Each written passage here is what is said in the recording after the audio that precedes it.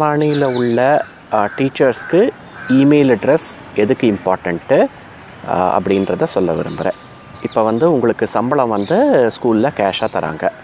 அந்த கேஷாக தரதுனால உங்களுக்கு பலதரப்பட்ட பிரச்சனைகள் வர வாய்ப்பு இருக்குது கேஷாக தரதுனால அடிக்கடி சீக்கிரம் செலவாயிடுறது அப்புறம் அதை எங்கே வச்சு பாதுகாக்கிறதுங்கிறத பிரச்சனை வருது கையில் எவ்வளோ கேஷ் இருக்குன்றதெல்லாம் பிரச்சனை வருது. அப்புறம் பேங்க்கில் போட வேண்டி வந்தால் பேங்க் அக்கௌண்ட் இருந்தால் பேங்க்கில் அதை போட்டு அதை ட்ராக் பண்ண வேண்டிய ப்ராப்ளம் வருது.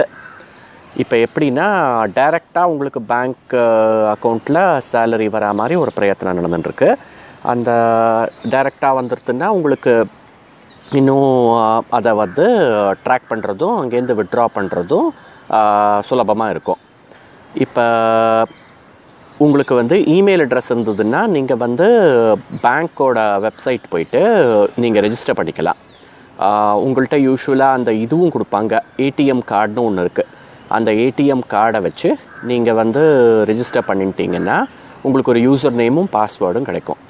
அந்த யூசர் நேமும் பாஸ்வேர்டும் உங்களுக்கு கிடச்சிதுன்னா அதை வச்சுட்டு நீங்கள் லாகின் பண்ணலாம்.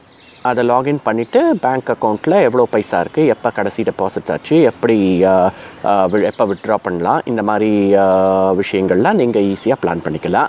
இப்போ ஒவ்வொரு தடவையும் பேங்க் அக்கௌண்ட்டில் ஏதாவது நீங்கள் பண்ணும்போது அதுக்கான மெசேஜ் வந்து உங்களுக்கு எஸ்எம்எஸ்லேயும் வரும் இமெயிலாகவும் வரும். எஸ்எம்எஸில் உங்களை மொபைல் ஃபோனில் வரும் இமெயில் வந்து நீங்கள் செக் பண்ணிக்கணும். இந்த மாதிரி விஷயங்களுக்கெல்லாம் இமெயில் ரொம்ப யூஸ்ஃபுல்லாக இருக்கும்.